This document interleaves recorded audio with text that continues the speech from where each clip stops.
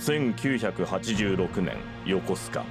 突如現れたその男が葉月亮の運命を変えた。その圧倒的な憲法の前に父岩尾は無残に敗れ亮もまたなすすべもなく屈した。そして道場に隠されていた流氷が奪われてしまう。悠然と立ち去る蘭亭瀕死の岩尾は亮に最後の言葉を残す。愛すべき友をもて。その言葉の本当の意味を知ることもできぬまま亮は道場を踏みにじり父親の命を奪った蘭亭への復讐を誓った。蘭亭の手がかりを必死で探す亮。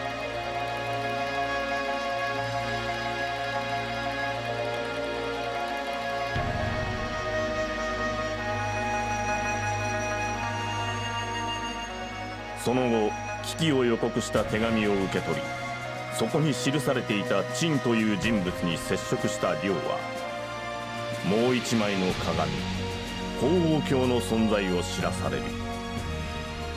そして道場の地下に何重にも仕掛けられた謎を解きついに亮は隠されていた鳳凰鏡を発見した。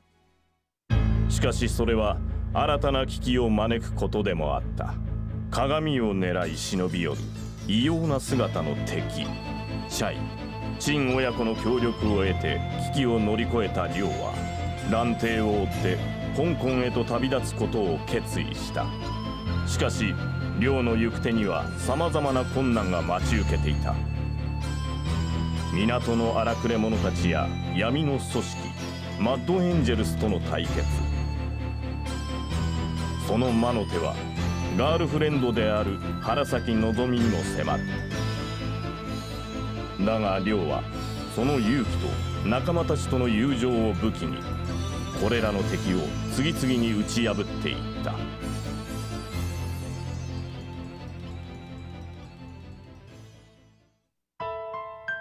そして旅立ちの時行く手に待ち受ける波乱の運命に向かって葉月亮はその一歩を踏み出した。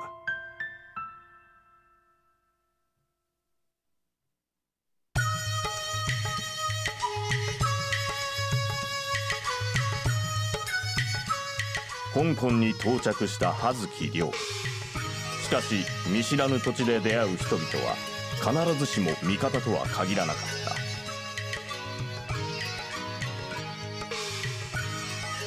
いきなり無一文になるというトラブルを偶然出会った少女ジョイの手を借りて切り抜けた亮そしてワンチャイの町を巡りたどり着いた文武廟で藍帝の手がかりを知る武術家孔秀英とようやく出会う。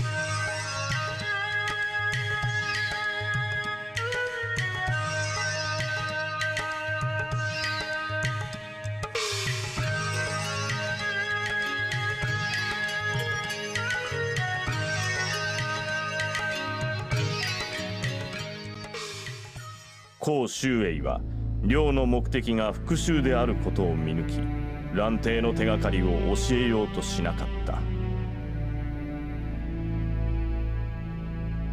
寮に修行を課し思いとどまらせようとする周英しかしその気持ちは伝わらず寮は主玄達の行方を知るという蓮雲院に接近する。寮の持つ鳳凰鏡に財宝の匂いを嗅ぎつけた蓮は主玄達がマック空論城に身を隠していることを教える。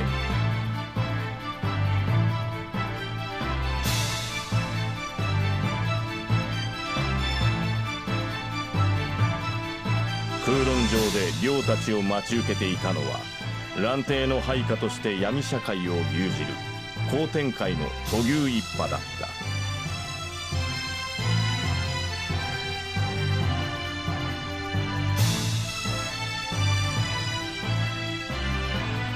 後天界の都牛を倒した亮だったが蘭亭には逃げられてしまう。そして寮は蘭亭が桂林へ向かったことを知る香港での多くの仲間と別れ一人桂林へと向かう亮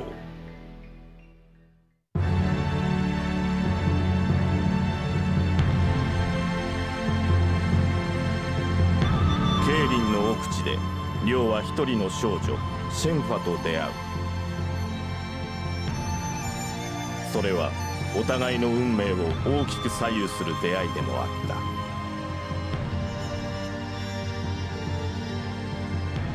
鳳凰と竜二枚の鏡の謎復讐を誓った父の敵蘭亭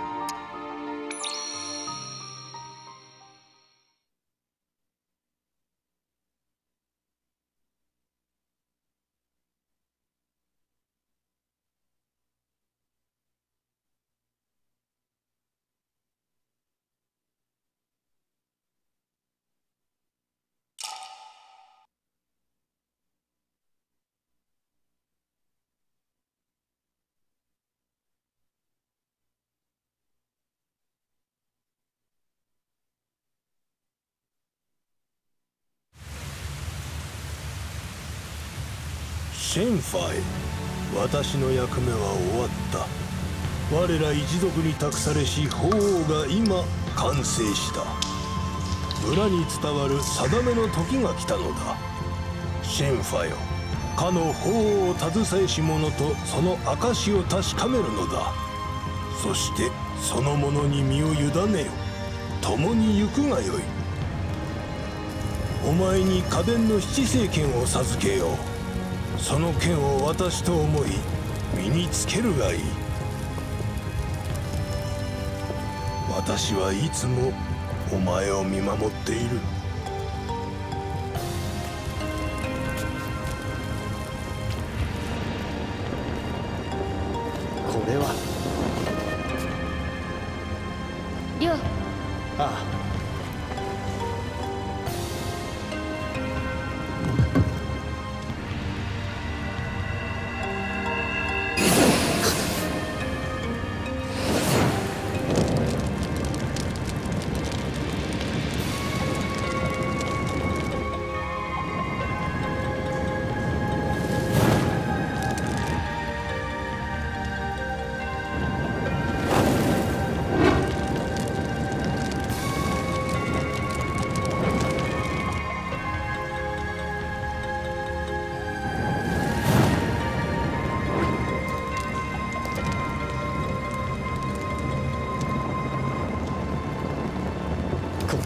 れは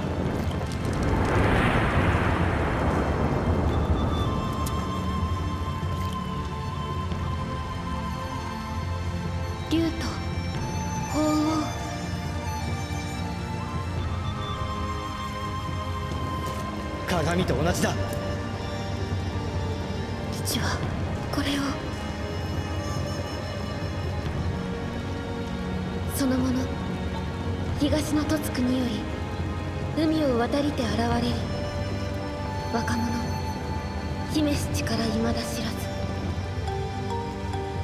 かの身を滅ぼすこともかの願い叶えしこともそのもの勇み立つ時我を求めん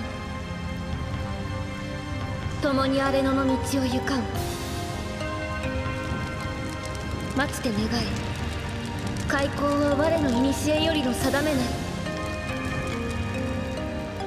地より現れし竜が黒雲をいざない天を覆う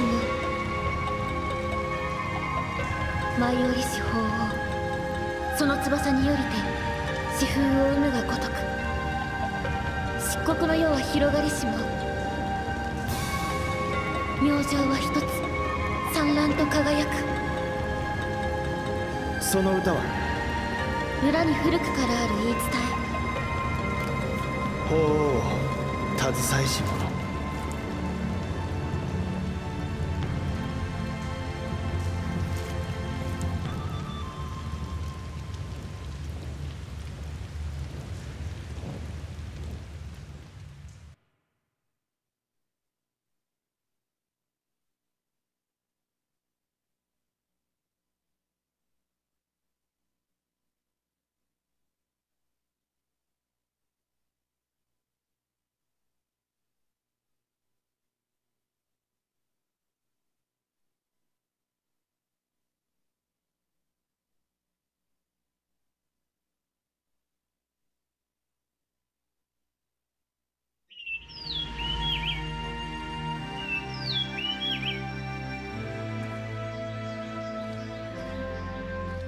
あれがハッカソン。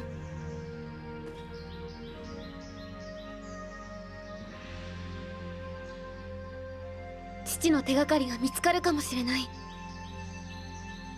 急ぎましょう。ああ。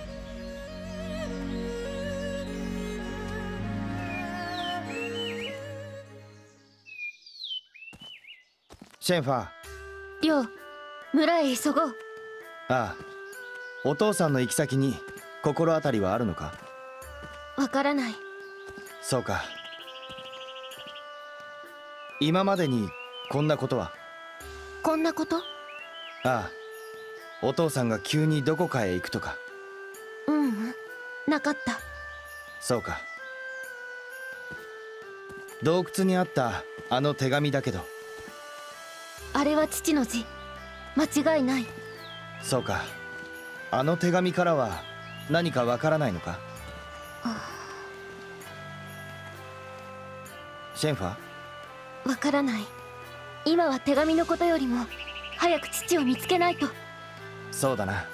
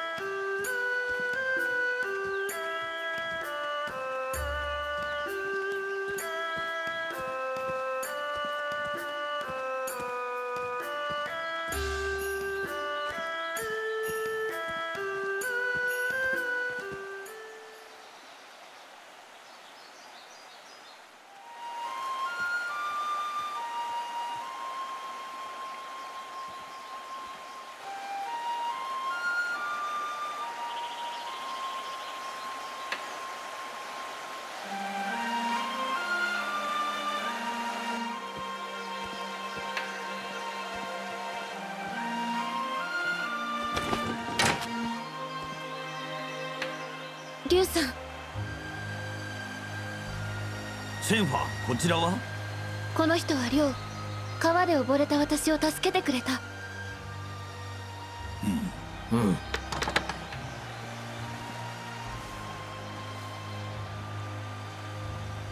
何かあったの？おとといゴロツキどもがやってきたんだ。ゴロつきああこの辺りでは見かけない連中だった。とにかく村に行ってみよう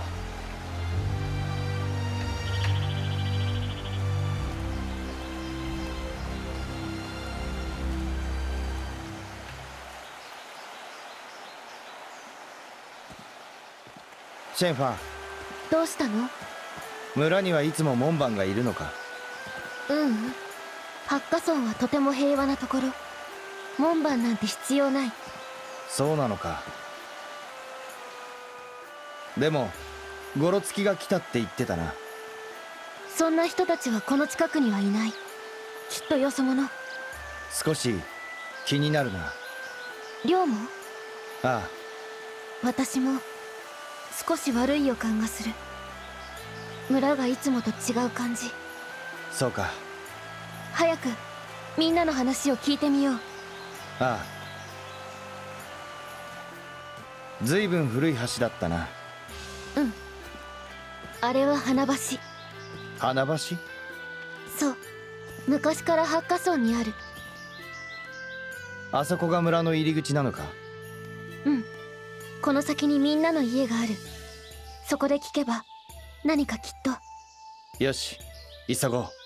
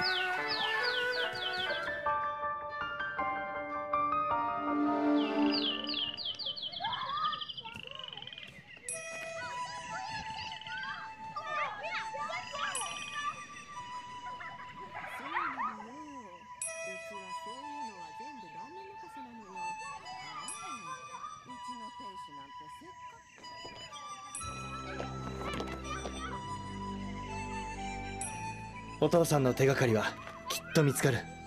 うん。亮はここを。私は向こうの集落を探す。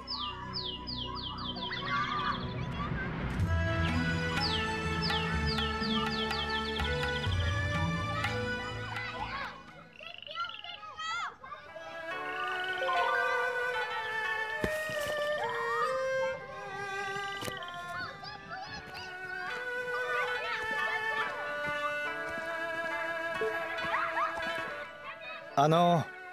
俺様に弟子入りしたいのか。あいえ。どんな素人でも一人前に育てる。それがこの俺様そう自由だ。何しろ俺様は珍式太極拳を極めた。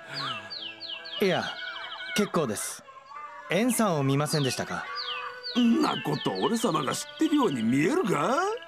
はあ珍式太極拳のことならいつでも聞いてくれよ。またにします。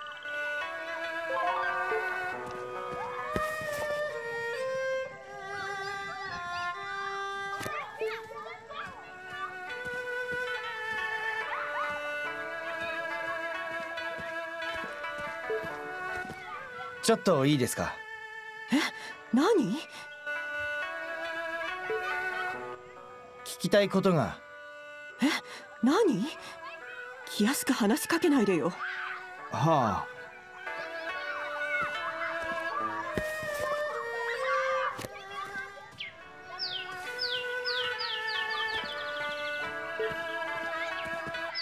ちょっといいかな？何の用だ？エンさんって人を見なかったか？いや俺は見てない。ずいぶん前にあの家に来てるのを見たきりだそうか。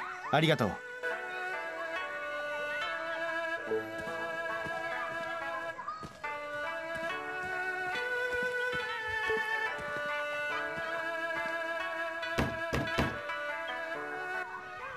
すみません。留守か。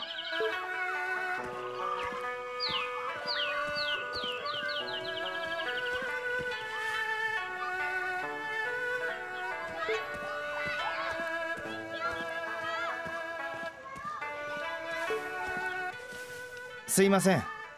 何かしら？エンさんを見ませんでしたか？たまにお隣の周さんを訪ねてくるけど周さんは今お仕事でいないはずよ。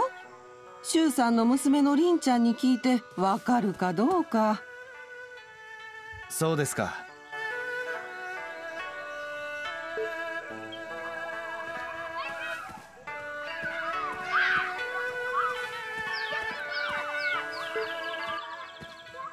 ちょっといいかな？エンさんを見なかったか？知らない。え？私何も知らないもん。そうか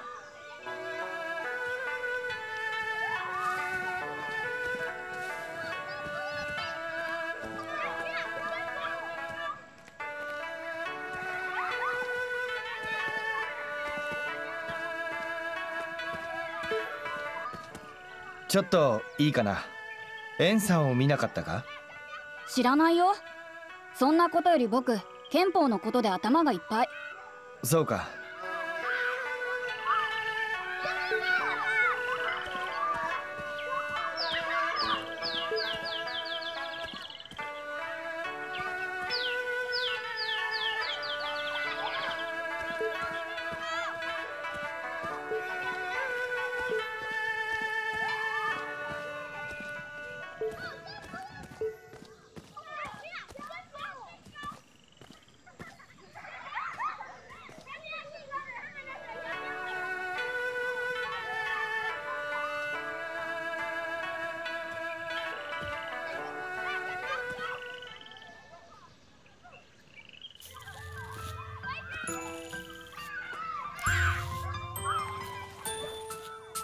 ちょっといいかな？なに上手だな。シェーファーも上手だねって褒めてくれるよ。シェーファーを知ってるのか？シェーファーはお友達なんだ。お兄ちゃんも？ああそうだな。ちょっと聞きたいんだけどエンさんを知ってるか？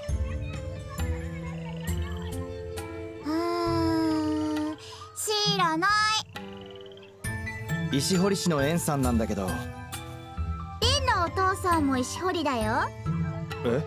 お父さんも石堀市なのか？そう。会えるかな？うん。いつも夜の7時には家に帰ってくるよ。家そうか。ありがとう。ううんいいよ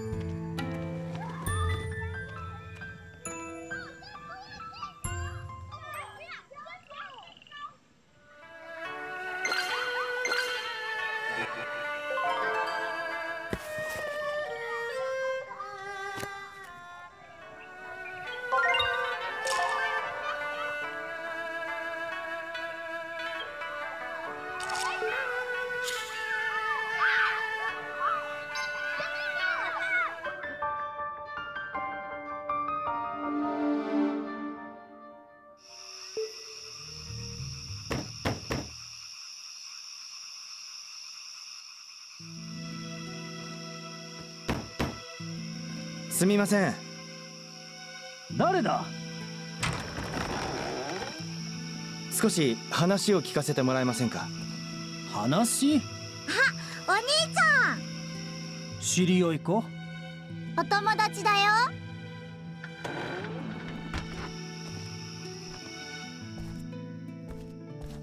何の話だね？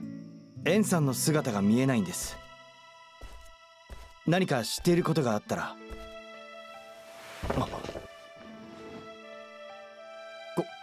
これは見慣れぬゴロツキたちが現れて部屋を荒らしていった。ゴロツキ？一体どうしてそんなことを？わからない。あいつらに「お前は石掘りか?」と聞かれて「そうだ」と答えたらいきなりだ。石掘り何かを探しているようだったがそいつらはどんな？この近くでは見ない顔だった。二人組で一人はスキンヘッドで頭に入れ墨をしていた。もしやエンさんのところにも奴らが来たのか？わかりません。エンさんが石切り場から急にいなくなったんです。なんだって？もしかするとゴロツキと関係があるのかもしれないわかりました。シェンファーに伝えます。またねお兄ちゃん。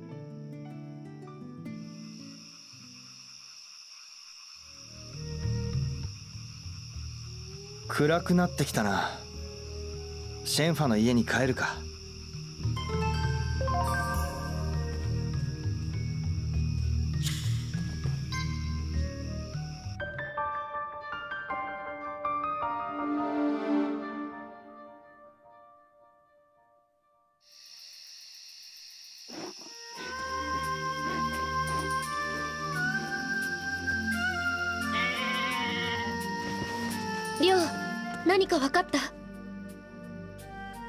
親父さんのことはまだ何も。そう。だが広場のシュウという人の家がゴロツキに襲われたそうだ。シュウリンの家が？父もそのゴロつきに？いやそれはわからない。りょう明日は私も一緒に行く。え？やっぱりゴロつきのことが気になる。もっと詳しい話を聞きたい。そうか。よしそうしよう。うう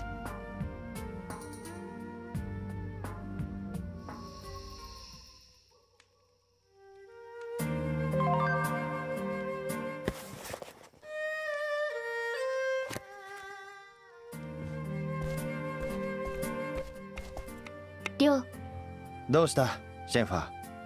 リンの家に来たゴロつきのこと。ああ。やっぱり気になる。確かに。